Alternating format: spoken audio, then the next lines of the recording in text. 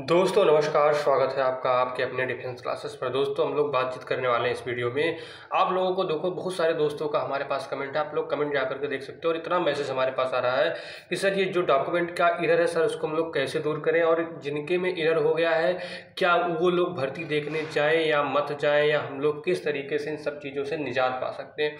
दोस्तों, देखिएगा, हम लोग इस पर बहुत डिटेल में बात करने वाले हैं और आप लोगों को बताने वाला हूँ कि जिनके भी साथियों के किस डॉक्यूमेंट में क्या गलती हो गई, वो किस तरीके से सुधार कर सकता है और कौन सा व्यक्ति ऐसा है जिनको अगर ये दिक्कतें हैं तो उसको फ़िज़िकल में नहीं जाना चाहिए क्योंकि उनको आगे जो है बाहर ही किया जाएगा। दोस्तों, ये चीज़ हमको देखने में को मिल रही है। तो इसी चीज़ों को लेकर के हम लोग दोस्तों इसमें बातचीत करने वाले हम लोग वीडियो को लास्ट तक ताकि दोस्तों आप लोगों को किसी प्रकार का कोई भी दिक्कतों का सामना ना करना पड़े। देखिए, सबसे पहले मैं बात करूँगा आपका एक एक डॉक्यूमेंट की मैं बात करूँगा।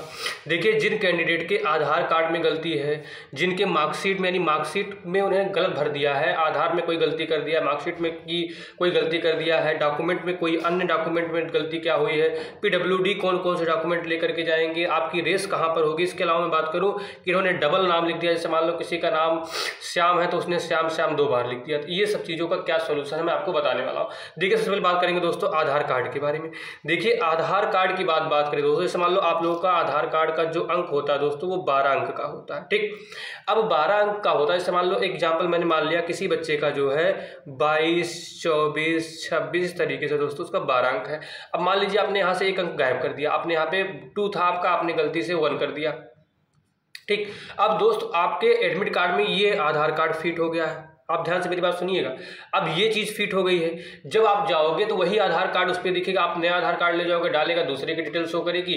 और आप जब अपना थम इंप्रेशन लगाओगे तो वो मैच नहीं करेगा दोस्तों। तो जिन कैंडिडेट में दोस्तों इस तरीके का दिक्कत है तो वो लोग देखिए, अब ये उनको मैं बताना चाहता हूँ, उनके लिए दोस्तों यानी नाइन्टी नाइन परसेंट जो है मुश्किल खड़ी हो चुकी है कि उनको वहाँ पर शायद ही आपका कोई सोल्यूशन बन पाए। लेकिन मैं आप लोगों से कहना चाहूँगा कि आप लोग एक बार मैं व्हाट्सएप नंबर आपको दिया मुझसे बात कर लो।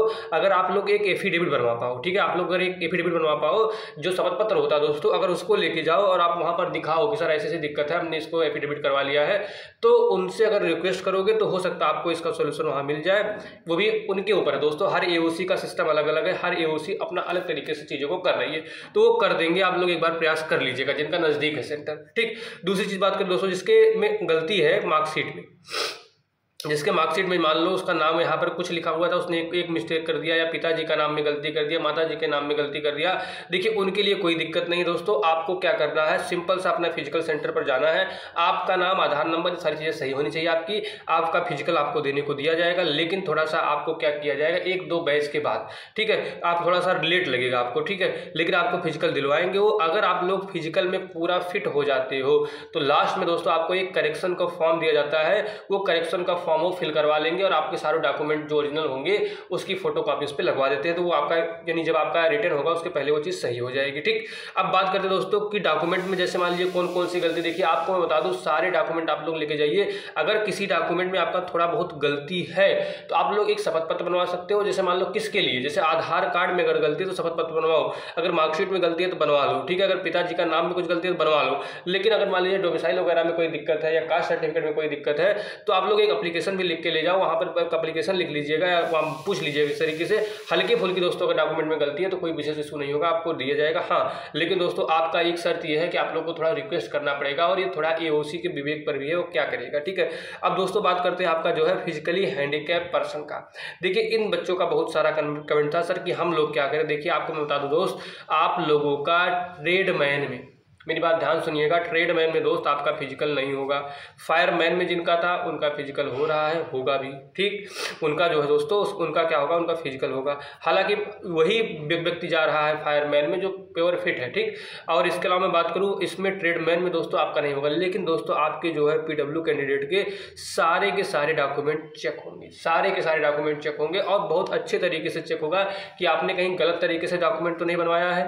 ये सारी चीज़ें चेक होंगी, इसलिए आप सारे डॉक्यूमेंट को लेकर जाइएगा और जो आपका हैंडीकैप सर्टिफिकेट है उसको भी खूब बढ़िया से एकदम ओरिजिनल लेकर के जाइएगा और आप, आपके जितने आधार कार्ड हो गया मार्कशीट हो गया वो सारी चीज़ों को भी आप लेकर के जाइएगा। इसके अलावा आप जब भी कुछ आपको अवार्ड वगैरह कहीं कुछ फ़ंक्शन में मिला हो P M S C M के इन सब चीज़ों में आप उसको भी ले जा सकते हो उससे थोड़ा आपकी सिक्योरिटी और बढ़ जाती है। ठीक है दोस्तों जितने भी आपके पीडब्ल्यू के सर्टिफिकेट हैं जिस तरीके से बनता हो हो और जो जो अथॉरिटी उसको बनाती है उसको बढ़िया से लेकर के जाइएगा ताकि कोई दिक्कत ना हो। अब देखिए दोस्तों बात करने वाले किस सेंटर की रेस कहाँ पर हो रही है।